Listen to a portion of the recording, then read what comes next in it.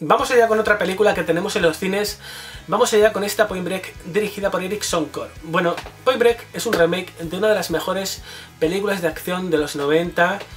Esta le llaman Body, dirigida por Catherine Bigelow, que nos recuerda a ese maravilloso Patrick Swayze, rubio, melenudo, el surfero estelar, eh, líder de esa banda de atracadores, los expresidentes de Estados Unidos, o a ese Ken Reeves interpretando a Johnny Utah con esa épica persecución a pie, para mí una de las mejores persecuciones en la historia del cine. Bueno, eh, tenemos eh, una película mítica que inspiró a cintas como Hit de Michael Mann, con esos atracos a bancos, también El Caballero Oscuro de Christopher Nolan. Bueno, me encantó esta película, yo la descubrí gracias al videoclub eh, la vi en VHS, no sé cuántas veces la alquilé posteriormente. Y bueno, en esta era de los remakes, de los reboots, de traer del pasado esos clásicos imperecederos, nos llega este remake de Point Break, esta vez dirigido por Eric Sonkor, un director que solo había hecho una película, esa Invencible del año 2006, no la de Angelina Jolie, Unbroken. Eh, esa película estaba protagonizada por Mark Wahlberg. Bueno, este director, Erickson Core, se ha dedicado al mundo de la fotografía, ha sido director de fotografía de Daredevil, también lo fue de una película inspirada por Point Break, que es A Todo Gas, la primera película.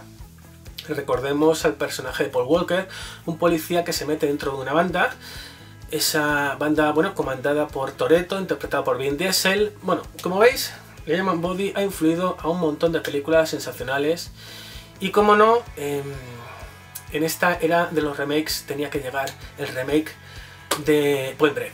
Bueno, aquí contamos con eh, Luke Bracey interpretando a Johnny Utah, el personaje interpretado en su día por eh, Ken Reeves. Tenemos a Edgar Ramírez, que leímos hace poco en Líbranos del Mal, interpretando a Body. Tenemos a Teresa Palmer, tenemos a Delroy Lindo, tenemos también a Ray Winston, tenemos a nivel técnico la banda sonora de Yankee XL y tenemos una fotografía em, bueno, eh, realizada por el propio director, ya que como he dicho se ha dedicado al mundo de la fotografía en muchas películas y en videoclips. ¿no?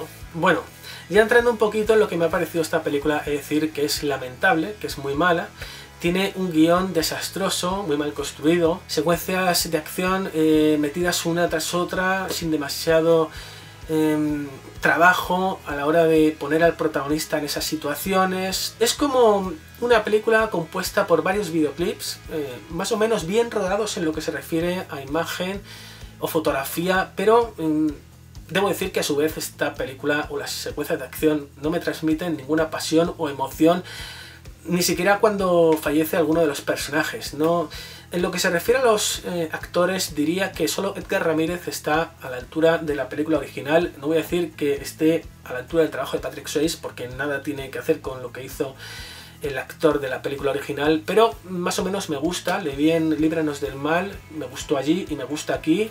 Bueno, mm, da el pego.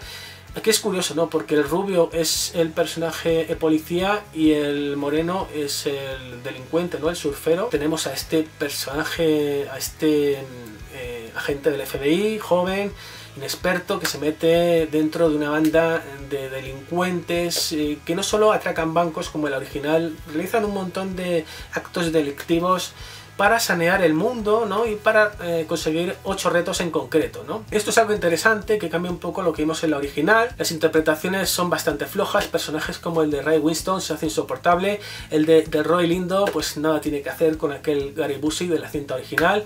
Tenemos una banda sonora compuesta por Yankee XL que ha trabajado en Mad Max Fury Road. Eh, en la próxima película de Batman vs Superman, que aquí, bueno, pues tampoco me llega a convencer. Creo que no está bien eh, mezclada la música con las imágenes. Es que esta película tiene un problema, y es que me parece un videoclip continuo, ¿no? Hay secuencias como ciertas fiestas, ¿no? Encima de un yate o en una casa, que parecen un anuncio de Pacha Ibiza. Te da una sensación de que no estás viendo una película, que estás viendo pues un videoclip, eh, escenas rateras, con personajes rateros, ¿no? Eh, tenemos un romance del protagonista con una chica, también muy poco trabajado, que intenta tocarte el corazón al final, pero tampoco lo consigue. Así que nada, pues poco más puedo añadir sobre esta catástrofe de película, ¿no? Si tuviera que ponerle una nota le pondría un 3,5 o un 4 como mucho por la fotografía, por las localizaciones, la ambientación que me ha gustado, pero vamos, ni punto de comparación con esta puta obra maestra dirigida por Catherine Bigelow, ¿no? Nada tiene que hacer Erickson Core con lo que hizo esa directora y bueno, pues esto es todo lo que tenía que decir de este despropósito, este remake para nuevas generaciones. Un saludo y nos vemos.